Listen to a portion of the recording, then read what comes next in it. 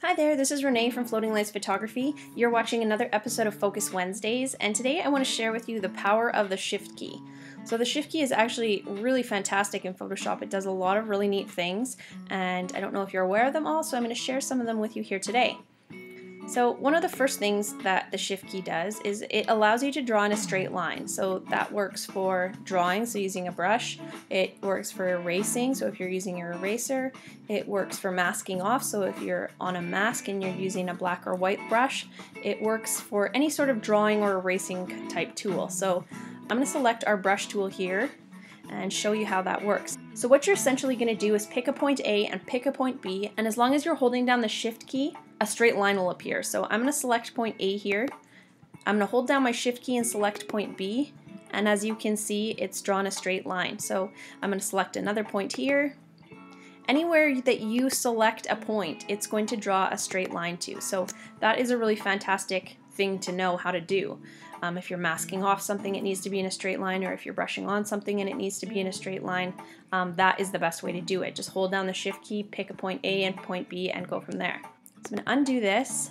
Um, another thing it does is if you're just holding down the shift key and you start to brush back and forth on your photo, it's going to draw in a perfectly horizontal line. So it's telling you this is the horizon, this is perfectly horizontal, and that is something that's neat as well. So I'm going to show you another nifty little trick here. I've selected my text tool and I'm going to type a few words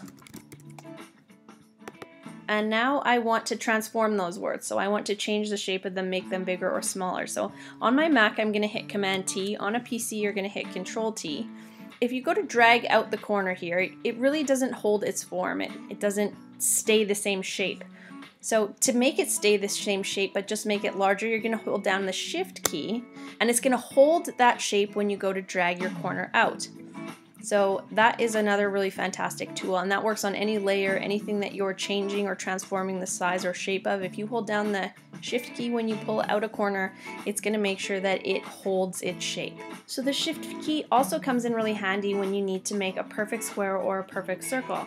If you select a shape from your menu bar down here and you go to draw a square, it's really hard to tell how to make it perfectly uniform so that all the sides are exactly the same size. If, however, you hold down the shift key when you go to pull that out, it's going to make sure that your square is a perfect square. Same goes for the circle. If you're not holding down the shift key, it's really hard to tell where a perfect circle would be.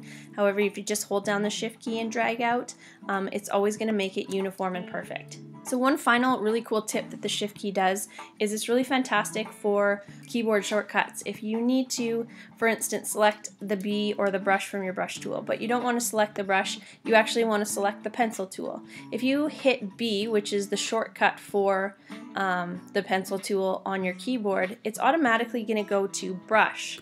You can hit B as many times as you want and it's not going to go down to the pencil tool. You'd have to come over here and manually select it. Unless you're holding down shift when you hit the B and then it will toggle between all the different menu items on your toolbar.